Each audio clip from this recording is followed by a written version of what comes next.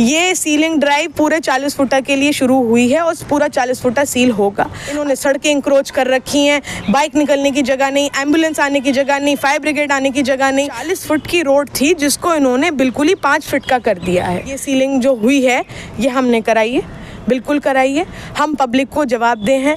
ये देखिए कि रेजिडेंशियल एरिया में कमर्शियल एक्टिविटी चल रही है और वो भी कोई नॉर्मल कमर्शियल नहीं, तंदूर और भट्टियाँ जल रही हैं। एक एक आदमी इस इलाके का और मतलब पूरी ओखला विधानसभा का परेशान है इंक्रोचमेंट से। ऐसा नहीं है कि ये यहीं तक सीमित है। अभी हम छः नंबर पर भी पूरा जो इंक्रोचमेंट है, उसे ख़त्म कराएँगे। एक एलिमेंट ऐसा है जो बिगाड़ने पर तुला पड़ा है इस इलाके को। उसको सिर्फ़ अपनी पड़ी है और किसी की नहीं पड़ी है।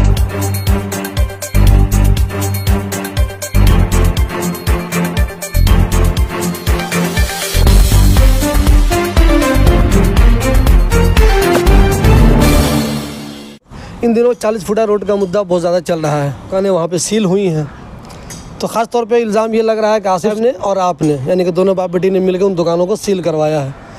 हम जो वीडियो में कमेंट देखते हैं, जो लोगों की राय मुझसे लोग मिलते हैं, वो बताते हैं, वो तो बहुत ज़्यादा खुश है कि अच्छा हुआ, ये होना ही चाहिए, बहुत ज़्यादा तकलीफ़ हो रही है, लोग कारोबार करें, लेकिन जो उनकी हद है, उसके अंदर कारोबार करें। लेकिन दुकानदार आमतौर पे, आप दोनों बाप बेटी को ही बदनाम कर रहे हैं कि रोज़ी ख़राब कर रहे हैं, लोगों को बेरोज़गार कर रहे हैं, ये कर रहे हैं। तो क्या इस पर एक्शन आपका जारी रहेगा? या आप लोग, आप कुछ नरमी करेंगे? क्या है?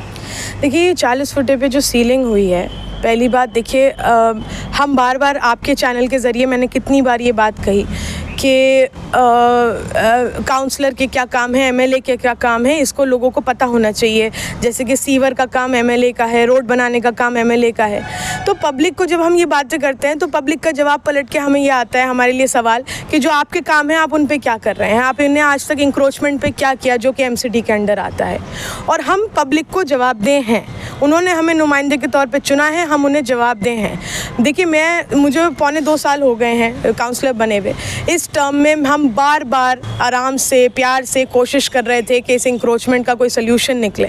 हमने समझाने की भी कोशिश करी, हमने बातचीत करने की कोशिश करी, लेकिन प्रॉब्लम क्या है कि एक एलिमेंट ऐसा है एक बड़ी आबादी में एक बहुत छोटा सा, एक परसेंट भी नहीं है वो, एक एलिमेंट ऐसा है जो बिगाड़ने पर तुला पड़ा है इस इलाके को। उसको सिर्फ़ अपनी पड़ी है और किसी की नहीं पड़ी है। ये 40 फुटे पे सीलिंग ड्राइव जो हुई है इसकी इन्फॉर्मेशन यहाँ के होटल वालों को दो तीन महीने से थी जून से। जून से ये सीलिंग ड्राइव यहाँ पे वो जब आग लगी थी उसके बाद से ये शोशा उठ गया था कि यहाँ पे सीलिंग होनी है। इनको नोटिस वोटिस भी मिल गए थे। मुझे देखिए ये कहने में कोई आ, मैं ना आप वो नहीं है कि ये सीलिंग जो हुई है ये हमने कराई है। बिल्कुल कराइए। हम पब्लिक को जवाब दें हैं। मैं इस एरिया की काउंसलर हूँ। मेरे पास आप यकीन नहीं मानेंगे, आज तक इतनी कूड़े की कंप्लेंट्स नहीं आई हैं, जितनी इंक्रोचमेंट की कंप्लेंट्स आई हैं। एक एक आदमी इस इलाके का और मतलब पूरी ओखला विधानसभा का परेशान है इंक्रोचमेंट से। और देखिए, कुछ रोड्स हैं यहाँ पर हमारे वार्ड में, जो प्राइम रोड्स हैं मेन कनेक्टिविटी की रोड्स हैं। जैसे आपकी शाहीन बाग मेन रोड हो गई, आपकी अबुल फजल मेन रोड हो गई, इसी तरह से ये चालीस फुट अभी बहुत प्राइम रोड कहलाती है। और चालीस फुट की रोड थी जिसको इन्होंने उन्होंने बिल्कुल ही पाँच फिट का कर दिया है। आप ये देखिए कि रेजिडेंशियल एरिया में कमर्शियल एक्टिविटी चल रही है और वो भी कोई नॉर्मल कमर्शियल नहीं, तंदूर और भट्टियाँ जल रही हैं। ऊपर पाँच पाँच छः छः फ्लोर हैं जिसमें फैमिलीज़ रह रही हैं, बच्चे रह रहे हैं, औरतें रह रही हैं। उस दिन आग लगी, अल्लाह का बड़ा करना था, कोई कैजुअल्टी नहीं हुई। लेकिन खुदा न खास्ता आगे कोई हादसा होता है। किसी का ये जो भी तंदूर और भट्टियाँ जल रही हैं, इसकी वजह से कोई हादसा अल्लाह ना करे, हो जाता है। तो जवाबदेही तो फिर हमारी बनेगी ना? पब्लिक तो हमें पकड़ेगी ना कि आपने क्या करा? आपने इंक्रोचमेंट पे कोई काम नहीं करा। तो ये जो सीलिंग ड्राइव है, ये कोई एकदम से नहीं हुई है जो ये ऐसे पोर्ट्रे किया जा रहा है कि एकदम से हुआ है? इनको वार्निंग्स दी गई कि आप अंदर हो जाओ। देखिए, हमने यहाँ आए थे हमारे पास, चालीस फुटे से सारे दुकानदार आए थे। हमने उनसे कहा, देखिए, हम, आप हमारी, आप बिना लाइसेंस के चलाइए दुकान। आपसे कोई नहीं कहेगा लाइसेंस लीजिए। किसी को महीना नहीं देंगे एमसीडी वाले को। मैं मैं बैठी हूँ यहाँ अगर आपसे कोई महीना आ, मांगने के लिए आए आप मुझे बताइएगा मैं उसको ठीक करूँगी। आपकी कोई दुकान सील नहीं होगी सील हुई तो हम तोड़ेंगे सील हम अपने ऊपर मुकदमा मुकदमा भी ठुकवा लेंगे सील तोड़ने का। लेकिन हमारी बस एक शर्त है आप सड़क सड़क से अंदर हो जाइए। आप सड़क छोड़ दीजिए अपनी दुकान की जो आपकी बाउंड्री है वहीं तक आप रहिए उसके अंदर चलाइए, जो चलाना है आप चलाइए, बेधड़क चलाइए। आपको कोई एमसीडी वाला आके परेशान नहीं करेगा। क्या हमारी ये डिमांड, कोई गलत डिमांड थी कि आप लोग सड़क छोड़ दीजिए? पब्लिक परेशान हो चुकी है, मेरे पास हर दूसरे दिन, अभी भी रखी हैं कंप्लेंट्स मैं आपको दिखा दूँगी। चालीस फुटे के लोगों की कंप्लेंट आती है जी ब्लॉक के लोगों की कंप्लेंट आती है, कि इन होटल वालों ने सारी ये गंदगी उसमें भर देते हैं, हमारी नालियाँ चौक हो जाती हैं, इन्होंने सड़कें इंक्रोच कर रखी हैं बाइक निकलने की जगह नहीं एंबुलेंस आने की जगह नहीं फायर ब्रिगेड आने की जगह नहीं। और इतनी इस तरह की कंप्लेंट्स हैं। और बहुत लोगों ने एमसीडी में भी कंप्लेंट डायरेक्ट वो थ्री वन वन ऐप है, है उसके ज़रिए भी डाली हैं एलजी में भी डाली हैं एसडीएम में भी डाली हैं। तो देखिए हम क्योंकि पब्लिक के नुमाइंदे हैं हम पब्लिक को जवाब दे हैं। अगर कुछ दुकानदार पूरे एरिया को अफेक्ट करेंगे तो हम नहीं चाहते किसी की रोज़ी रोटी पे बात आए। लेकिन ऐसी ऐसी रोज़ी रोटी में आपकी बरकत कैसे हो रही है जिसमें आप पूरे इलाके को परेशान कर रहे हैं? ये तो हमारे इस्लाम में भी हदीस है कि अगर आप किसी का रास्ता तंग करेंगे तो आपकी कब्रें तंग हो जाएँगी। तो आप कैसे अपनी हलाल रोज़ी को, रोटी कमा रहे हैं दूसरों का रास्ता तंग करके? तो देखिए, ये कार्रवाई जो है, और मैं आपके चैनल के माध्यम से मैं वॉर्न कर रही हूँ बाकी दुकानदारों को भी। अभी भी वक्त है, आप लोग अंदर हो जाइए। ये सीलिंग ड्राइव पूरे चालीस फुटा के लिए शुरू हुई है और पूरा चालीस फुटा सील होगा। अगर आप लोगों ने कोर्ट का एफिडेविट जमा नहीं करा तो आप लोगों की सील नहीं खुलेगी। आगे आने वाले कितने भी महीने, साल हो जाएँ।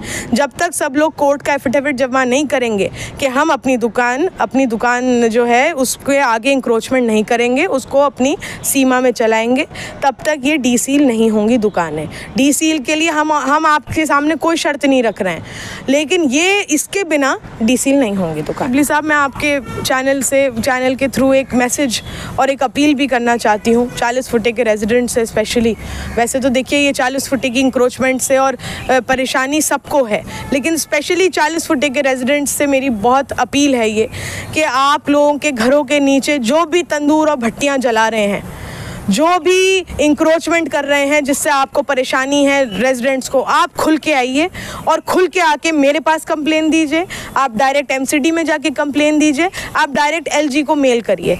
जहाँ भी आपका दिल करे, आप वो कंप्लेन करिए। आपको मेरे पास आके करनी है, आप मेरे पास करिए। हम आपकी आवाज़ बनेंगे, हम आपके हक के लिए लड़ेंगे और हम लड़ भी रहे हैं। किसी भी तरीके की इलाके के लोगों को परेशानी हम नहीं होने देंगे। जहाँ जो हमसे होगा हम वो करेंगे। करिए मुझे ये बताइए तो चालीस फुटा रोड पे लोग बहुत ज़्यादा परेशान रहते हैं और इंक्रोचमेंट का मसला तो पूरे इलाके का है।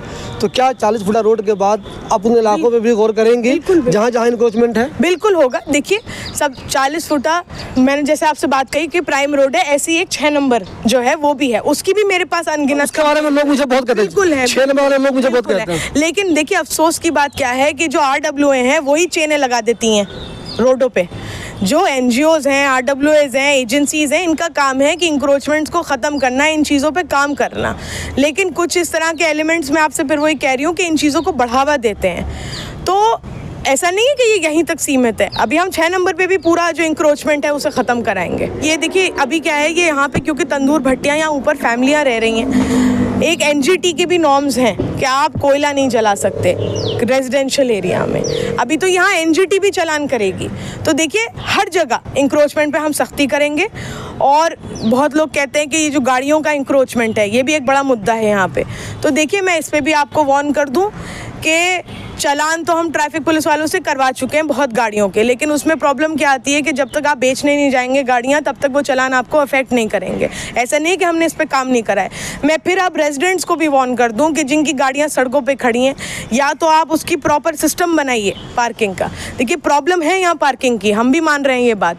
जहाँ, जो यहाँ फ्लैट्स बना बना के बेचते हैं, वो नीचे पार्किंग की फैसिलिटी नहीं देते हैं। दस दस फ्लोर बना रखे हैं बीस बीस फ्लैट निकले हैं, लेकिन पार्किंग पाँच गाड़ियों की होती है। मजबूरन आदमी पर खरीदता है फ्लैट और सड़क पर पार्क करता है। लेकिन कोई सिस्टम हमें बनाना पड़ेगा, वरना देखिए, ये भी बहुत बड़ी एक इशू है। उस रोड पर हरी कोठी रोड पर लाइन से गाड़ियाँ खड़ी हैं, ना नाली की हमारी सफ़ाई सही से हो पाती है, ना कुछ और। इस पर भी हम काम कर रहे हैं। हम हम, चाहे हमें टो करानी पड़े, फिर हम टो करवाएँगे गाड़ियाँ। जो भी हमें एक्शन लेना होगा, इसके बाद हम छः नंबर पे भी करेंगे और बाकी रोड्स पे भी एक्शन होगा।